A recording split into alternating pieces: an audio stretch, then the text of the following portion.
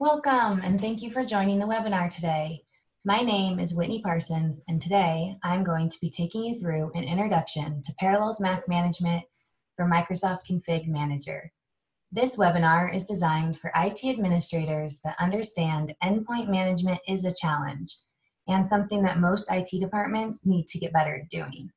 Additionally, you probably have a bunch of Macs in your organization that are either unmanaged or in a less than managed state.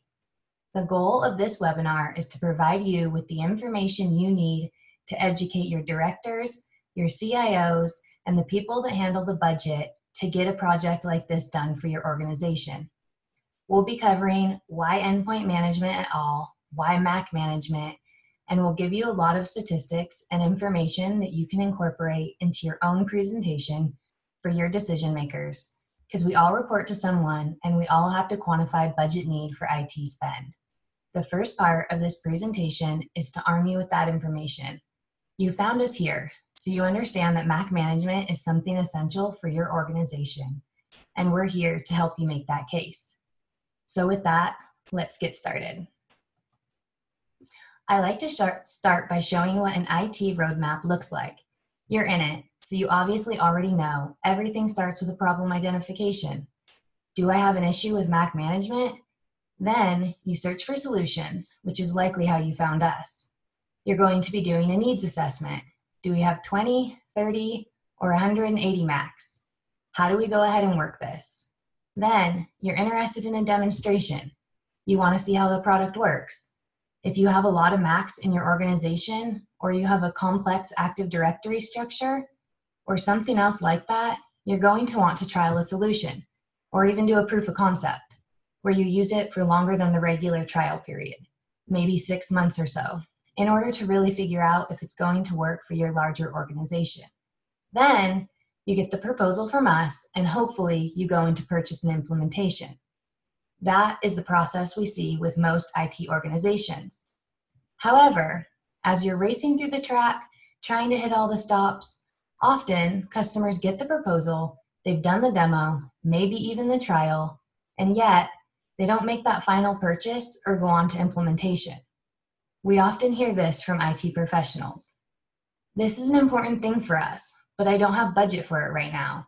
It's going to have to wait until next quarter or next year. Or we just don't have enough Macs to do this. We only have 50, and my boss isn't going to allow me to spend X amount of dollars just to protect 50 Macs. And that falls on us. That falls on us as a vendor, as a solution provider, and as a trusted partner to your organization. The reason it does is because we are often focused on the features, the bells and whistles of what our product actually does. But what we forget is the reality that you're involved in on a daily basis. You've got a lot of stuff going on. Your internal IT department is pulled in a hundred different directions. Your budget is stretched thin across a multitude of projects and different user groups. And for you to go ahead and focus solely on Mac management isn't realistic. You've got all these other things big data, cloud services. You have the endless issue with security, and now end user satisfaction. It's no longer enough for help desk tickets to just get closed. Now you have to make sure the end users feel good as well as close the ticket.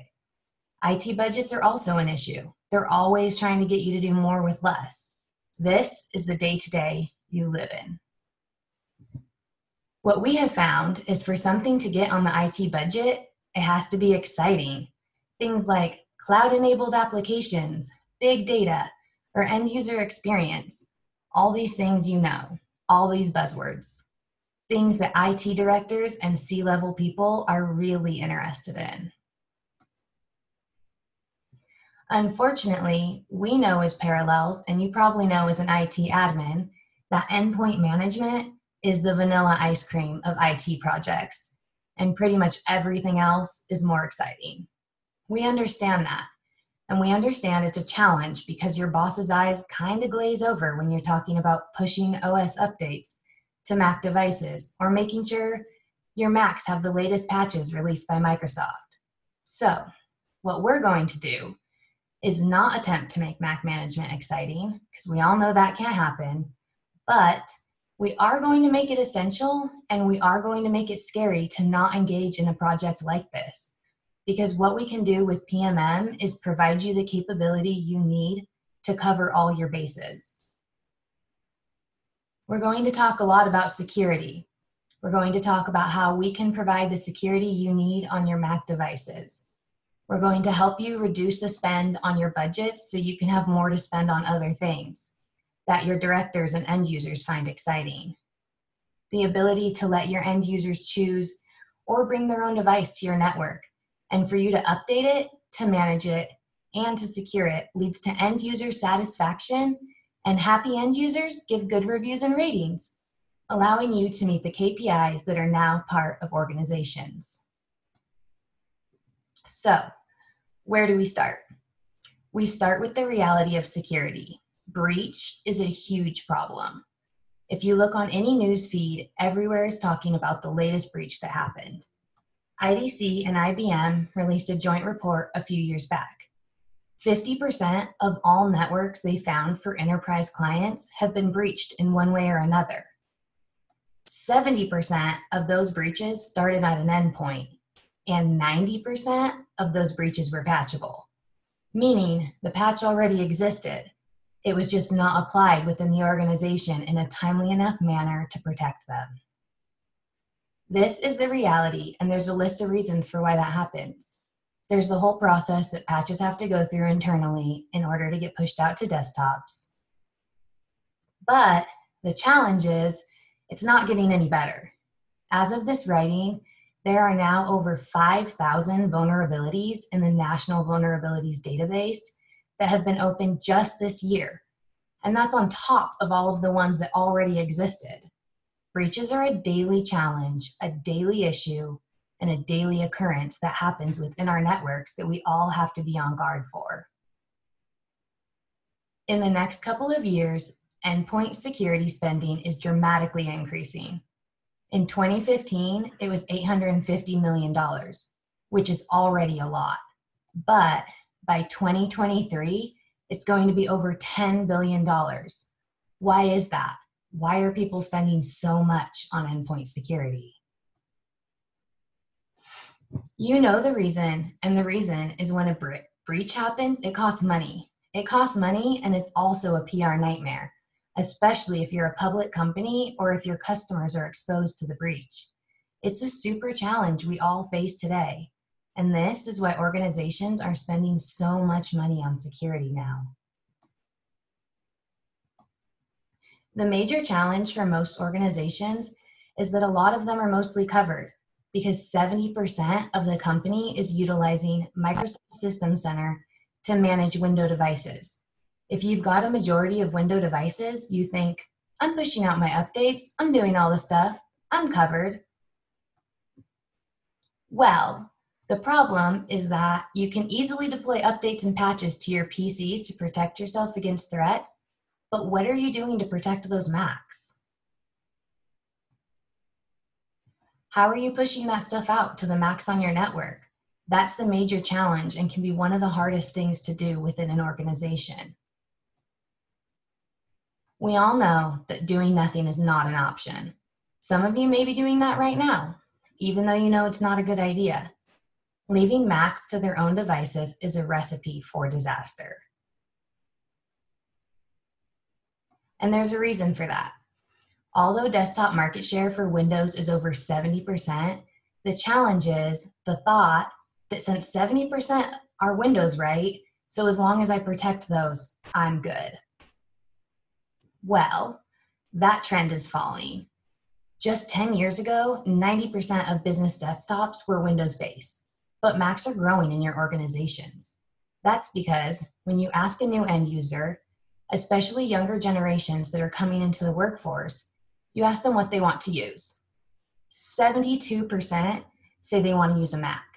It's what they've been using in their colleges, in their trade schools, their coding schools. It's what they're used to and what they know and they want to bring that capability to your organization. How are you going to do that if you're a majority Windows network with no Mac management? Here's the real world of today. It used to be enough that you got the ticket closed. IT departments were looked at by how quickly did you close the ticket. That was your KPI. Then a couple of years ago, they started to look at more than that. Do you have detractors in your community? People who don't want to use IT? What percentage of people are passive? They can take it or leave it. And are there people who are promoting what a great experience they had? Recently, both of these combined, and there's now something called customer effort. Basically, it means after each interaction, end users are asked, does the IT department make it easier for you to do your job? The challenge is that for most IT admins who live in the config manager world, PCs are easier to manage. So naturally, PCs are preferred by IT. A quarter of replies to Derek's question were Macs over my dead body. But if what you are telling your end users is no, you can't have a Mac, are you really making it easier for them to do their job? What are they saying in their reviews? I came here from college, I got a job as a designer, and the first thing I had to do was turn in my Mac and get a PC. Even if it was a Surface and even if it was great, they're used to using that Mac. So are you making it easier or harder for them to do their jobs? So here are your two options as we see it. The first is a bad choice, and the second is a bad choice but in a different color. You can manage your PCs in Config Manager and leave Mac users to their own devices. Or you can manage PCs in Config Manager and then by a separate third-party console that you need additional training, resources, and investments to make successful. It's impossible to trust Mac users to manage their own OS updates. If you did a survey right now of Macs in your organization and asked how many are on Safari, how many are on El Capitan, Catalina, it would be all over the place not to mention the application updates they haven't done. You also know that asking Mac users to bring their Macs into the help desk to get them updated isn't realistic either. First of all, most of us are working from home nowadays, and those who aren't probably aren't going to reply to your email. Who knows what's on that Mac? You can only guess. So that is the first bad choice. The second bad choice is you have to go ahead and buy a totally separate console to manage your Macs. We call it Yapos, or yet another piece of software. And how do you choose which one is good for you? Which one will be the easiest to implement? Which one can you get trained on the quickest? So back to that statistic that 90% of breaches have patches available. It's hard enough in a Windows environment to get those patches pushed out because you have to test them against your internal applications, your internal image, and all that other stuff. You have to make sure the patch to fix one thing doesn't break another. If it takes 40 to 60 days after discovery to get the patch updated, updated in a Windows environment, what are you going to do if you have a second console and a completely different team managing that console? How are you going to manage all those patches for all the same applications through a second console? It's a completely different process. So, what we say here at Parallels is you can keep calm and manage everything in Config Manager. Mac and Windows, side by side. With our plugin, we allow you to leverage the infrastructure that you've already invested in and trained on to fully manage Mac computers. You gain control of those Macs, just like your PCs. Mac endpoint discovery happens right along Windows discovery. So as soon as the Mac logs onto the network, it shows up in your console. You can extend existing MEM infrastructure, processes, and skills. You can manage Mac computers, their discovery, distribution, and inventory, just like PCs. And the best part is you can provide yourself and your team the best Mac OS management capabilities available. Why? Because we're parallels and we've been running Windows on Mac for over a decade. So we have a great relationship with both Apple and Microsoft. So now we're going to move into what Config Manager actually looks like with PMM installed. And Danny, our engineer, is going to take you through this. Thanks, Whitney. Um, I think this, the case has been stated. There's a lot of reasons why you should be considering full endpoint management. I mean, just the fact that you would never leave a Windows endpoint unmanaged, the same reasons apply uh, why you shouldn't leave a Mac unmanaged.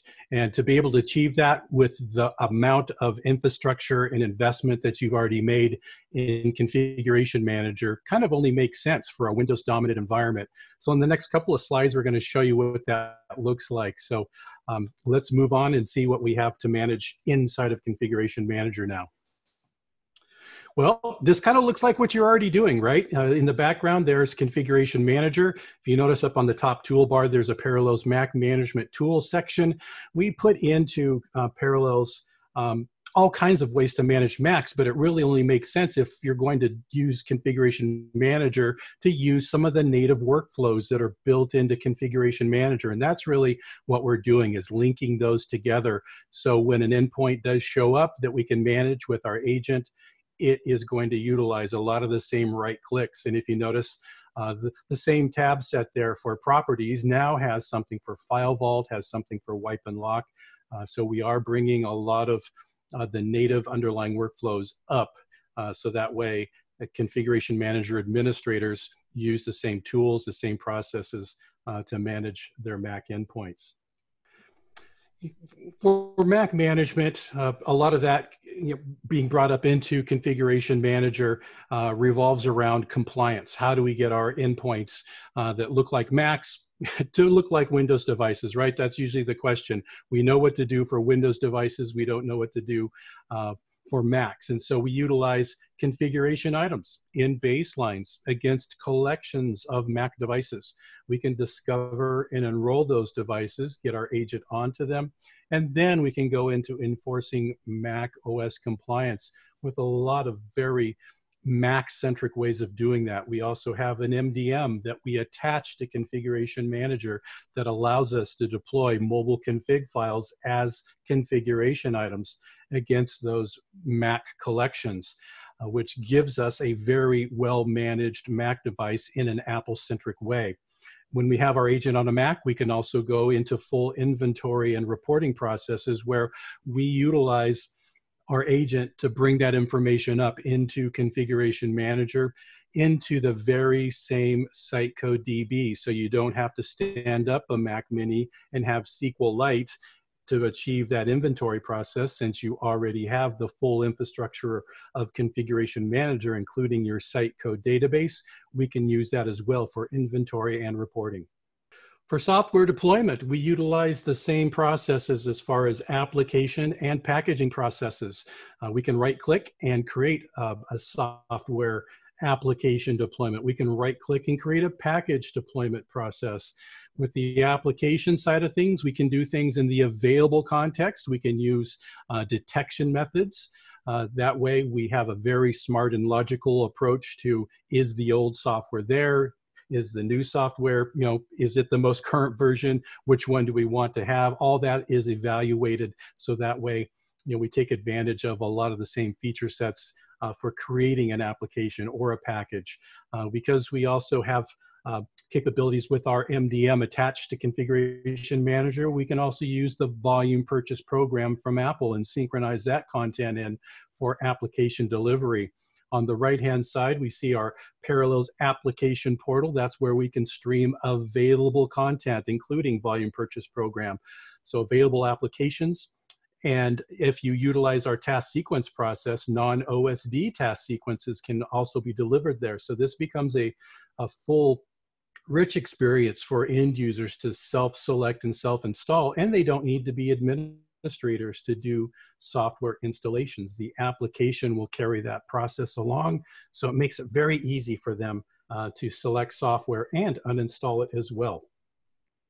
For Mac OS image deployment, we can do that. We have capabilities of creating an OSD image uh, in a thin modular method and then bringing that up into configuration manager and then utilizing the task sequence process. We can do that all the way up into Catalina and give a, a full uh, kind of a light touch process, if you're familiar with that, in almost an MDT style, where you you build a nice, clean, thin modular image, it gets turned into a WIM file. We can then add it to the WDS, the Windows Deployment System process, leverage task sequences, utilize PXE, uh, a lot of the underlying architecture that should be there for a distribution point to push that image out. So you can come up with a gold image and then many task sequences that would maybe deliver a uh, developer image, maybe a you know hr image a finance uh, a, a, corporate image uh, based off of individual task sequence steps. So it becomes a very modular approach to deploying images out to mac endpoints.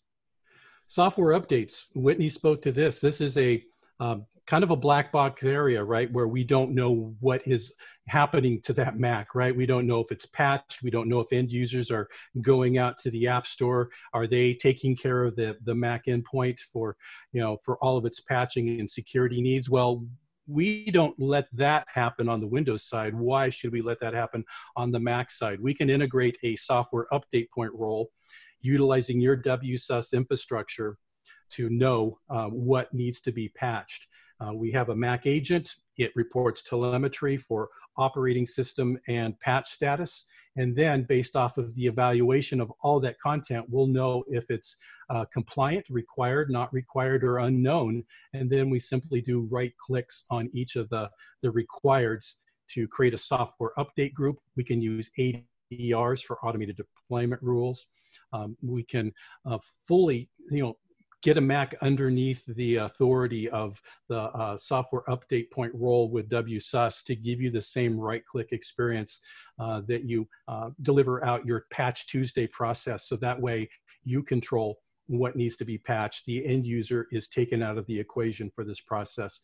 The only thing they'll see is, if needed, a reboot notification where they will be asked to uh, shut down and reboot, or if maybe it's just a log out and log in. But if not, it'll just patch and update in the background because it didn't need a reboot. So we can fully control that process here out of Configuration Manager remote management for the case maybe where um, you need to get onto the device as uh, administrator. This isn't shadowing or screen sharing where the end user sees the mouse moving around on the screen. This is for the true administrator who simply needs to do some things either at the GUI level, right over VNC, we can get out to a login profile, use administrative credentials, or we can use SSH, which is PuTTY uh, for the terminal and then log in at the command line level, which is very helpful if in the case maybe in a lot, you know, some of our schools, we've, we've had these reports come in where uh, students have downloaded things maybe they shouldn't have. Um, an administrator can log in without any announcement to that end user. They can, uh, they can patch it, they can remove whatever's been added to it, maybe take somebody out of a, a root or um, administrative role and put them into a standard user role uh, so that way we can regain the ownership of that Mac endpoint, um, all under kind of under the radar, so to speak. So that way uh, an administrator has full administrative rights for remote management. Then for system requirements, um, pretty standard uh, for what we cover there as far as uh, configuration manager, MEM. Um, we are uh, up to date with branch versions. Uh, we do follow that cadence uh, from Microsoft as well. Um, and then operating systems. Uh, we are uh, supporting up to Catalina, currently um, developing for Big Sur as well. So uh, we will have that capability for management onto the Big Sur platform once it is released from Apple. Well, yeah, what's included, right? There's a lot of things that have been talked about today. Well, if you do go into a POC or maybe a purchase from us, we do include remote installation. Uh, we can set up a time and then assist you with discovering what your needs are, what environments, uh, you know, uh, what types of um, you know configurations you've got set up and then uh, help you out with that install process uh, assisted upgrades as well you know we do release a couple of uh, versions uh, each year so we do have that process and then 24 7 support is also included so everything uh, that we've been talking about today falls underneath that uh, that full assistance that's all included Right. So currently on version 8.5, which brought in support for Mac OS Catalina. As I mentioned, we are working on Big Sur. Uh, other processes uh, include the App Store um, uh, for volume purchase program configuration. Um, also like to note that we are actually on version 8.6, um, and then that also included iOS and iPadOS management. Uh, but able to uh, have granularity on asset inventory uh, through custom reporting. Most administrators will know that as MOF or MIF files. So we can we can actually tell you know how many T2 Macs are out there. Bring all that information in. So we take normal inventory and then extended inventory. Um, we have full support for Active Directory Red Forest design, which is the most secure AD structure. Uh, we'll, we'll uh, during our install process we can tell which types of Active Directory you have and then be able to install to it automatically.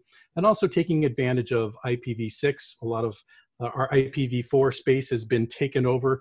Uh, so many you know endpoints out there, whether they are phones, tablets, uh, computing devices, whatever they are, uh, taking over the IPv4 space. So again, if we detect um, during our install that you're IPv6, we just naturally will go with that for the install process. And as mentioned, we do upgrade twice a year with new feature sets and then also have, you know, of course, hot fix rollups and patching and all that stuff is all included. Thanks, Danny. So I'm sure you're thinking, everything sounds great, but what does it cost? Well, we like to be upfront about this and give you the cost now so you can share it with your directors and show them just how much it'll cost to get all your Macs managed. So, this is MSRP for you. If you are a for profit organization, it is just $3.75 per device per month. And if you are an educational customer, it is just 250 per device per month.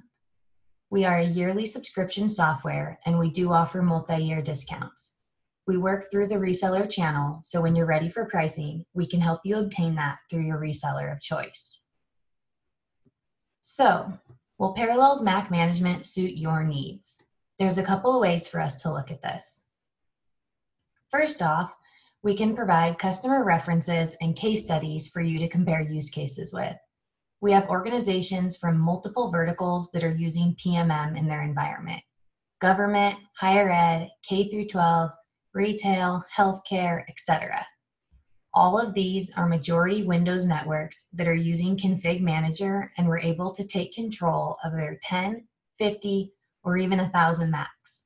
One education customer is currently managing 6,000 Macs with Parallels Mac Management.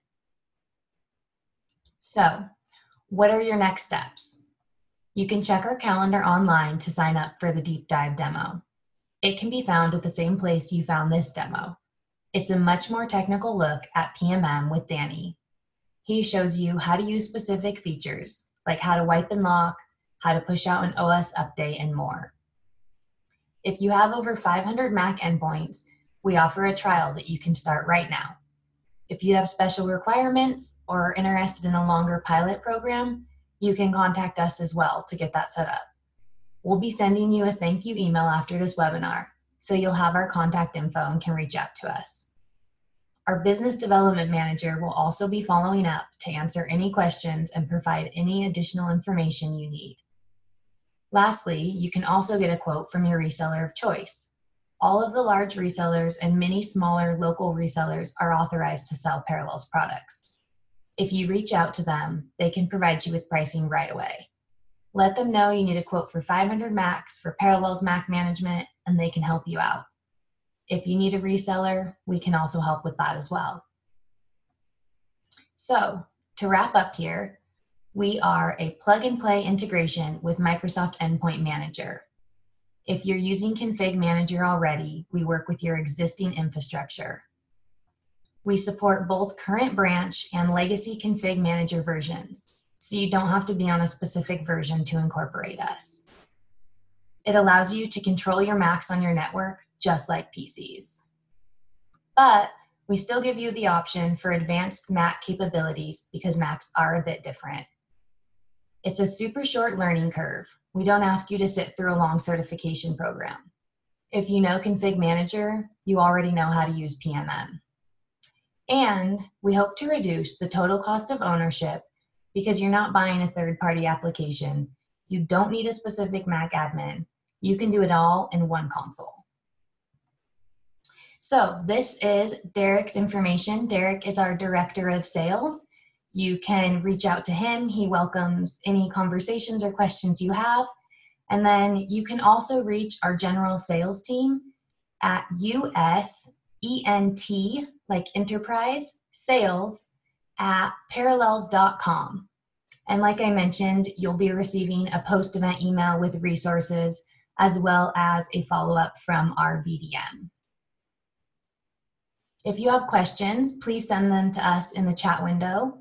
If you have more technical questions, please attend the deep dive demo with Danny, and he will be able to answer those for you.